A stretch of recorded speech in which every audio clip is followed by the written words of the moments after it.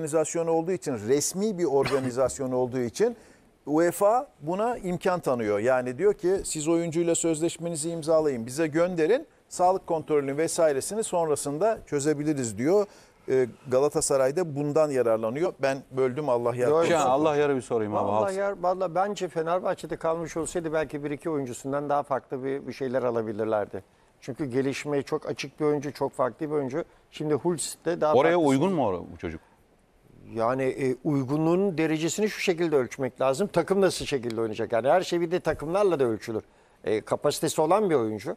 E, biraz evvel ne dedik? Bazıları sonradan açılan. E, ve ne oldu? Milli takımda da oynayan bir oyuncu. Oralara da kadar da geldi. Ve devamlı da oynuyor. E, tabii bu Fenerbahçe'nin kendi politikası. E, içeride daha farklı oyun, e, santrofor istiyor. İşte biraz evvel sen ne dedin? Seferovic.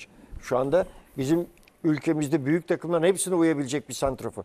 Yani ceza sahası santroforu diyorsun ya golcü. Seferovic o tarzda bizde. Frankfurt'ta yaptıklarına bak. Orada Benfica'ya gittikte yaptıklarına bak. Orada ama Sebastian Haller vardı. Bak şimdi Beraber ama müthiştiler. Müthiş. E Şimdi ne diyorum? Birbirlerini bağlı. Burada da Valencia ile bağlı. Valencia var.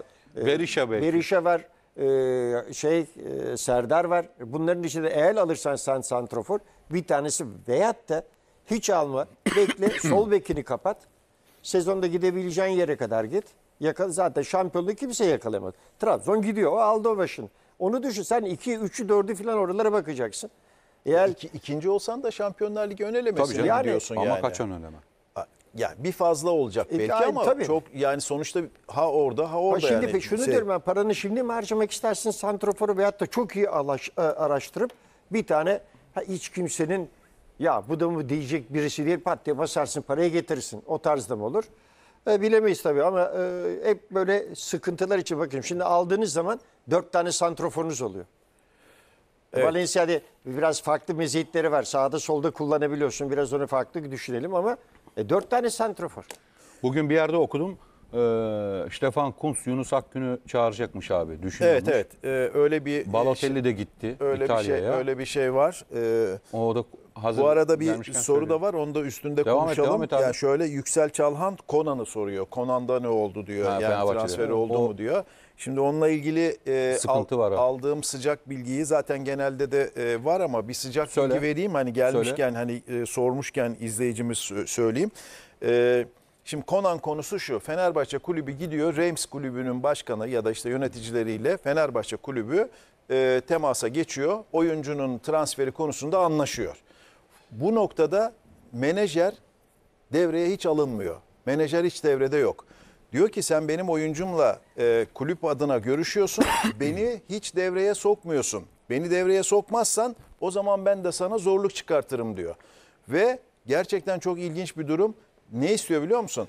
1,5 milyon oyuncusuna 360 bin euro falan alıyormuş. 1,5 milyon euro oyuncusuna istiyor. Artı artı 1 milyon euro kendisine istiyor. İmza bir de parası. imza bir de imza parası istiyor. Maşallah. Diyor ki madem ki diyor siz beni devreden çıkarttınız diyor ve böyle olunca tabii Fenerbahçe'de transferden vazgeçmek zorunda kalıyor. Çünkü rakam inanılmaz e, noktalara geliyor. Konan transferi bunun için e, sıkıntıya girdi. Fenerbahçe'nin şimdiki hedefi bu kısa sürede yapabileceği en uygun transfer hedefi şu anda Uğur Çiftçi. Uğur Çiftçi için görüşüyorlar. Orada da para. O da para. E, Uğur Çiftçi'yi Trabzonspor istediğinde 3 milyon Zaten euro istemişti Trabzonspor'dan. Sonra alamazsın. 2'ye kadar indi. Ama bilmiyoruz tabii 2'ye kadar Sol inince. bek- Dortmund'dan sol beki alamazsın. Yok o Çok pahalı Schulz, o. Niko Ha, Schulz gelmiyor. Schulz zaten. yani zaten bir de Gelmiyor. pahalı pahalı topçu alamazsın onu. Gelmiyor. Yani vesile oldu. Açtı konuyu. Konan konusunu menajer bozdu. Yani menajer Fenerbahçe'nin Reims'le görüşüp e, menajeri hiç devreye almaması yüzünden menajer sinirlendi. Kalıyoruz o zaman. Problem yok dedi ve şimdi iş sıkıntıya girdi. Yani onu söyleyeyim.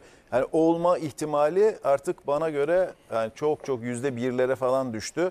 Bu rakamları veremezsiniz Sezon yani. sonunda bitiyor mu kahvesi? Çok büyük ama çok büyük rakam Ya şimdi. Büyük rakam da bitiyor yani. Kulübün de e, şeyi orada ne bileyim işgüzarlığı. Sen tabii menajeri varsa niye konuşmuyorsun menajerin? Ya şöyle sistem izlenmesi gerekiyor tabii. Önce kulübe bir teklif yapılacak. Sonra gideceksiniz menajerini e, çağıracaksınız. Menajeriyle görüşeceksiniz. Siz bütün kulüple anlaştık her şey oyuncuyu transfer ettik diyemezsiniz. Çünkü Yani. futbolcu da eş değerde söz hakkına sahip.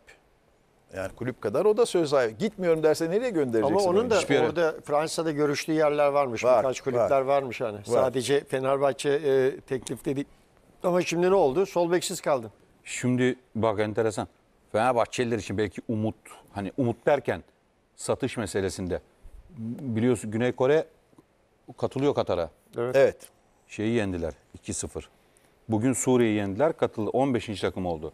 Niye Fenerbahçeleri ilgilendiriyor? Çünkü Mincae Kim bir takım forması giyiyor. Dünya Kupası da bu oyuncu için çok önemli bir vitrin. Eğer orada iyi oynarsa hatırla Zalai Macarlarla değil mi? Vida final oynadı. Beşiktaş 40 milyon euro. Eğer Mincae Kim Dünya Kupası iyi bir performans ortaya koyarsa bu Fenerbahçe için Güne- ciddi anlamda Burada- bir burada- gelir olabilir. Bu Japon ve Korelilerle en fazla ilgilenen ülkeler bunun başında Almanya geliyor. Ondan sonra da İngiltere. Onlar aynen. abi. Ondan sonra da İngiltere. Yani orada göstereceğin Ama ilk Manchester başlattı o işi. Şimdi- Hatırla Kagawa ile mi? değil.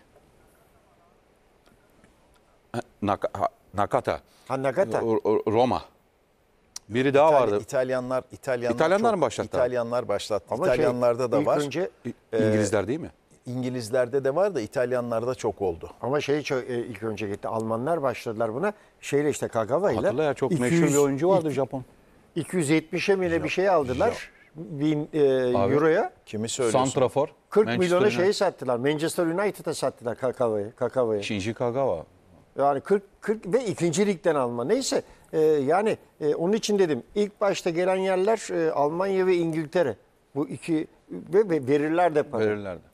O belki bir şans olabilir Haldun abi. o Şimdi açıdan onunla bakmak ilgili, lazım. onunla ilgili bir bilgi vereyim. Ee, Güney Kore basını tabii şimdi biz e, o Güney Kore'de olduğu için oyuncu yani orada Güney Kore basınının bir e, haber e, paylaştı. E, Avrupa'da da tabii biliyorsun hemen Avrupa'dan da alıyorlar. Ne kadar doğrudur nedir bilmiyorum.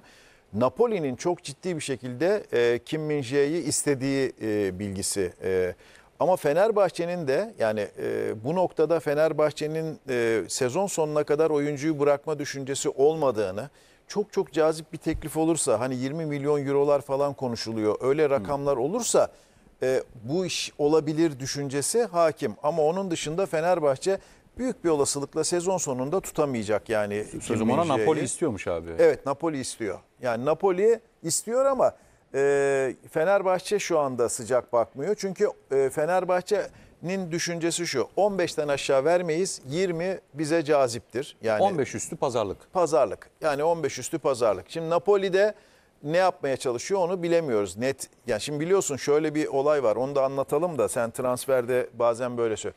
Ya nereden biliyorsun kardeşim teklif mi geldi? Şimdi bunlar basına yansıyor. Oyuncunun menajeri konuşuyor. Diyor ki işte böyle böyle bir teklif e, bir görüşme oldu diyor. Resmi e, teklif hocam artık hoca e, olarak bilir. Resmi teklif artık en sonunda geliyor resmi teklif. Ön e, çalışmaları yapılıyor. Çok Ya çalışmalar şöyle var değil yani o, o- olay. Ya Aykut şu mektubu veriyoruz size resmi teklifimiz budur denmiyor. Önce Yok, bir görüşülüyor. Bak Fenerbahçe'nin işi nasıl bozuldu? Menajerle görüşmediği için, kulüple görüştüğü için bozuldu. Yetkililer- Resmi teklif mi verdi? Yok. Yetkililer menajerleri. Ha, yani onun için Şimdi söylüyorum şey orada ama kimi e, emin ol tutamazsın yani. Kim iyi para getirecek Fenerbahçe ve çok iyi bir stoper. Emin ol iyi bir stoper. O uzun boyuna olmasına rağmen o çabukluğu, çabuk dönüşlü, e, dönüşleri Avrupa'da e, rövanşta olan bir stoperler konumunda. Çünkü çok uzun boylu oluyorsunuz ama hantal olabiliyorsunuz. Sadece pozisyon oyunu olabiliyor. Kim öyle bir oyuncu değil. E, burada da Fenerbahçe'ye e, giden hoca e, Pereira bir iyilik yaptı. Değil mi? Kimi e, transfer Bak. ettirdi getirdi. Bir dakika şu bizim Tolga Tezcanoğlu bakmış savunmaya. Kaleci, sağ bek, sol bek, stoper, sağ bek, iki stoper, sol bek hepsinin adı kim? Şeyde. Kimle bitiyor? Tabii, tabii, mi?